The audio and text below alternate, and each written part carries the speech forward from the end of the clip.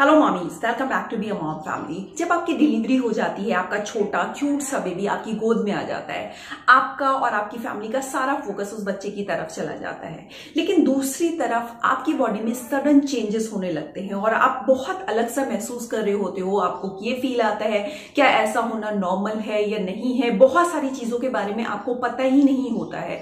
तो आप बहुत सारे लोग आपको इस बारे में एडवाइस भी देते हैं। आप बहुत सारी गूगल सर्च करते हो यूट्यूब सर्च करते हो।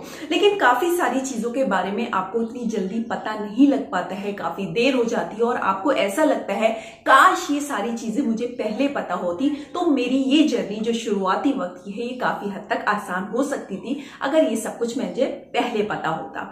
तो इस वीडियो में हम लोग उन दस चीज़ों के बारे में बात करने वाले हैं, जो कि डिलीवरी से पहले आपको पता होना बहुत ज़्यादा ज़रूरी है। सो so फ्रेंड्स अगर आपको वीडियो इन्फॉर्मेटिव लगे तो प्लीज़ लाइक बटन पे ज़रूर हिट कर दें चैनल को सब्सक्राइब ज़रूर कर दें, उसके साथ बेलाइकन हिट हिट करना बिल्कुल भी मत भूलें so friends let's get started इसमें सबसे पहली चीज़ है, आपके पेट का फूला हुआ रहना।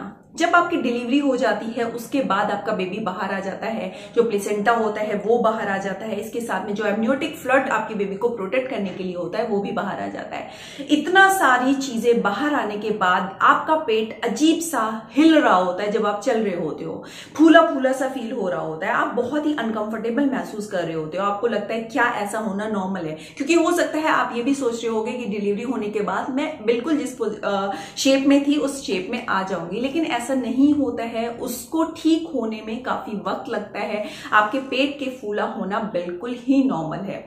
आपको डॉक्टर सजेस्ट करते हैं कि आप बेल्ट आपको लगा के रखनी है ताकि आपको अनकंफर्टेबल फील ना हो और आपके जो पेट का जो फैट है, उसको रिकवर करने में, उसको कम करने में वो बेल्ट काफ़ी हद तक हेल्प करती है। दूसरा पॉइंट क्या ब्रेस्ट फीडिंग बहुत मुश्किल भी होता है? हाँ फ्रेंड्स कुछ लोगों के लिए ब्रेस्ट फीडिंग बहुत ही मुश्किल भरा एक्सपीरियंस होता है।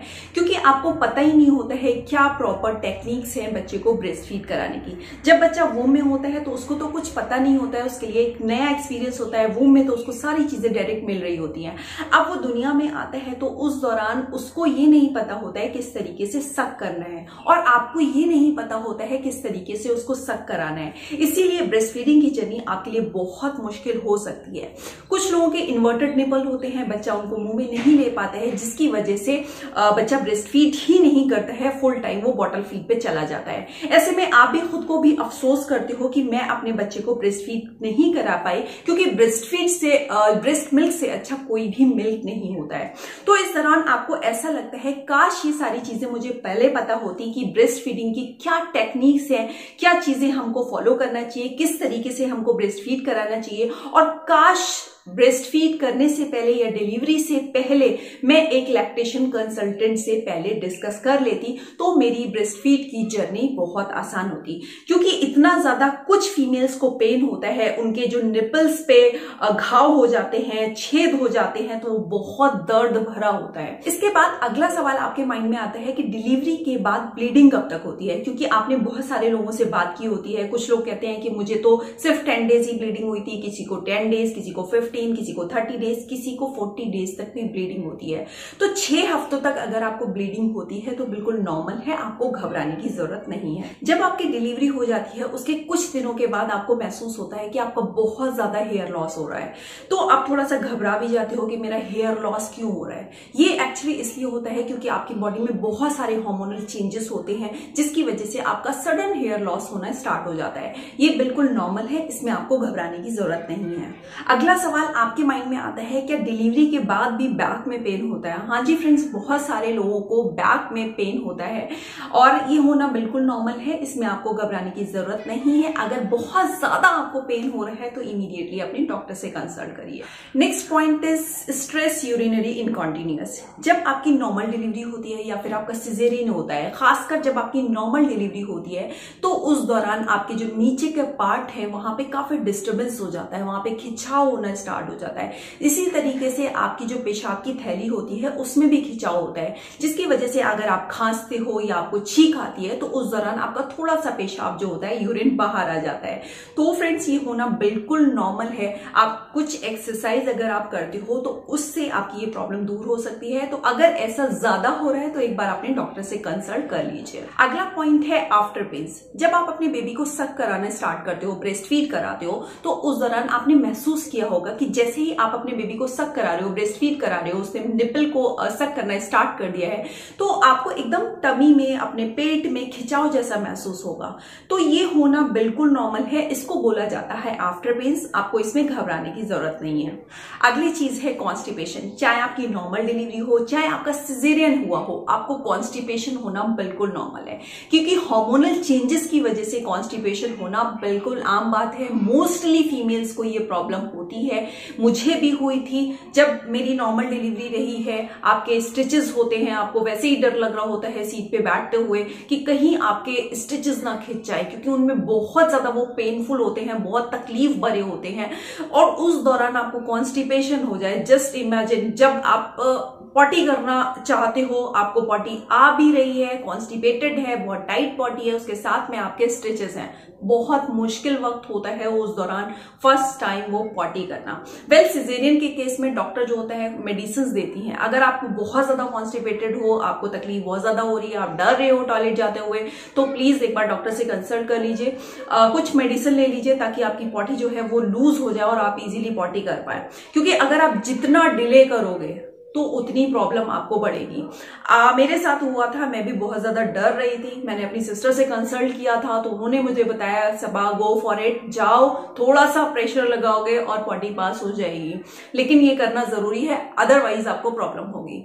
सो फ्रेंड्स कॉन्स्टिपेशन होना बिल्कुल नॉर्मल है इसमें आपको घबराने की बात नहीं है। अगर प्रॉब्लम बहुत ज़्यादा हो रही है स्टिचेस में बहुत ज़्यादा पेन है तो प्लीज़ एक बार डॉक्टर से कंसल्ट कर लीजिए। अगला पॉइंट खासकर नॉर्मल डिलीवरी के साथ जो है नॉर्मल डिलीवरी के बाद होने वाले स्टेजेस बहुत पेनफुल होते हैं, बहुत तकलीफ़ वाले होते हैं। जब हमारी डिलीवरी हो रही होती है नॉर्मल उस टाइम इतने ज़्यादा पेन हो रहे होते हैं डॉक्टर वहाँ पे कुछ इंजेक्शन लगाती है, इतना तो मुझे याद है, और हमें पता भी नहीं लगता है कि कब वहाँ उन्होंने कट कर दिया है। जब कट हो जाता है तो उसको डॉक्टर स्ट्रेचेस करती हैं, जब वहाँ पे थोड़ा सा इंजेक्शन जब वो एनेस्थीसिया देती हैं तो उस दौरान तो आपको दर्द फील नहीं होता है। लेकिन जब उसका असर कम होना स्टार्ट होता है, तब आपको फील होता है कि एक्चुअल में ये जो नॉर्मल डिलीवरी के जो जो टाके हैं, जो दो या तीन टाके ये कितने मुश्किल भरे हैं।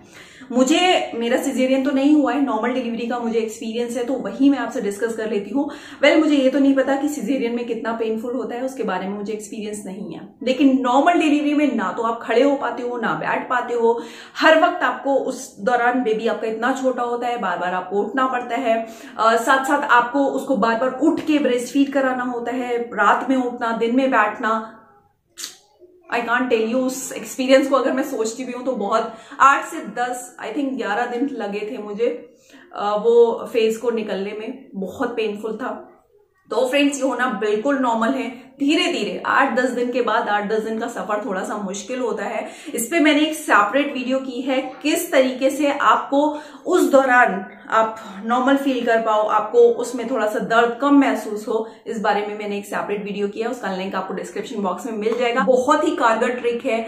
अगर आपको पेन बहुत ज़्यादा होता है, आपको उठने बैठने में तकलीफ़ होती है तो आपको सिर्फ़ नटशल में मैं आपको बता देती हूँ कि दो चीज़ें आपको चाहिए। एक गर्म पानी चाहिए, गुनगुना पानी, उसके साथ में एंटीसेप्टिक लिक्विड जो आपके जो पेन को भी कम करता है, इसके साथ में आपके स्टिचेस को ठीक करने में भी आपकी काफ़ी मदद करता है और आप बहुत ज़्यादा आराम महसूस करते हो अगर आप ये ट्रिक को फॉलो करते हो, क्योंकि ये मुझे डॉक्टर ने ही बताई थी। इसके साथ में कुछ आपको डॉक्टर लिक्विड भी देती है, कुछ मेडिसिन कुछ ऑइनमेंट देती है वहाँ पे लगाने के लिए, वो तो आपको डॉक्टर आपको देगी ही।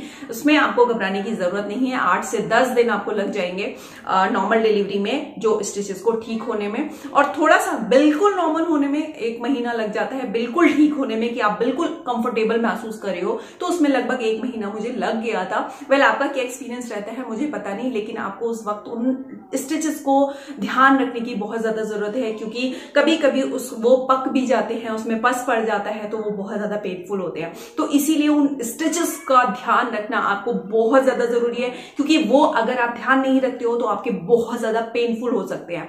सो प्लीज़ फ्रेंड्स इस वीडियो को जो लिंक मैंने दिया है, इसको ज़रूर देखिएगा और उस ट्रिक को ज़रूर फॉलो कीजिएगा। अगली चीज़ है पोस्ट पार्टम डिप्रेशन इस पे मैंने एक सेपरेट वीडियो की है, इसको आपको इग्नोर करना बिल्कुल सही नहीं होगा। अगर आप डिप्रेस रह रहे हो, पहले तो क्या होता है कि शुरुआत में बहुत सारे लोग होते हैं आपकी हेल्प करने के लिए। आपका बेबी होता है तो उसको सपोर्ट करने के लिए, आपको कंफर्ट जोन में रखने के लिए काफ़ी सारे शुरुआत में लोग होते हैं जो आपकी मदद करते हैं। लेकिन जब वो चले जाते हैं तो उसके बाद सारा बर्डन आपके कंधों पे आ जाता है। आप के अंदर बॉडी में बहुत सारे चेंजेस चल रहे होते हैं। आपकी नींद पूरी नहीं होती है। आपको ना ही रात में सोने को मिलता है, ना ही दिन में सोने को मिलता है। उसके साथ में आपकी घर की भी रिस्पॉन्सिबिलिटी होती है। तो इतनी सारी चीज़ों के साथ आपको हो जाता है पोस्टमार्टम डिप्रेशन ये होना बिल्कुल नॉर्मल है, लेकिन अगर आपको लगता है कि आप बहुत ज़्यादा गलत एक्टिविटी करते जा रहे हो, आप बिना बात के रोए जा रहे हो, आप लगभग वो चीज़ें कर रहे हो जो आपके बिल्कुल नहीं किया कर सकते थे तो आपकी सीरियस कंडीशन हो सकती है।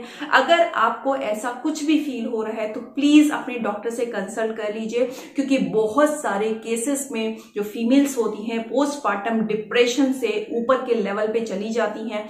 उनका ये डिप्रेशन बहुत सीवियर हो जाता है और अपने बच्चों को बहुत सारे केसेस में ऐसा देखा गया है कि वो बहुत ज़्यादा हार्म भी पहुँचा देती है। सो so फ्रेंड्स ऐसा आपके साथ ना हो तो प्लीज़ इस बारे में डिटेल से स्टडी कीजिए। अगर आपको कुछ भी अलग से सिम्टम्स अपने अंदर देख रहे हैं बिना वजह से आप आ, मतलब रिएक्ट कर रहे हो किसी भी बात पे तो प्लीज़ इसको इग्नोर मत करिए अपने डॉक्टर से ज़रूर कंसल्ट करिए। So friends is all for this video I hope ये वीडियो आपके लिए काफ़ी इंफॉर्मेटिव रही होगी। अगर रही हो तो प्लीज़ लाइक ज़रूर कर दिया करिए। अगर आपके माइंड में कोई भी सवाल है तो कॉमेंट सेक्शन में ज़रूर लिख सकते हैं। इसके साथ में इस चैनल को सब्सक्राइब ज़रूर करें बेल आइकन को हिट करना बिल्कुल भी मत भूलें और इस वीडियो को ज़्यादा से ज़्यादा प्लेटफॉर्म पे शेयर करिए, क्योंकि बहुत सारी फीमेल्स इस फ़ेज़ में होती है, क्योंकि उनको किसी गाइडेंस की ज़रूरत होती है। तो प्लीज़ इस वीडियो को शेयर करें ताकि उनको भी हेल्प हो पाए। So friends be healthy be safe have a good day bye bye अपना बहुत ख्याल रखें। Thanks for watching B Mom channel bye bye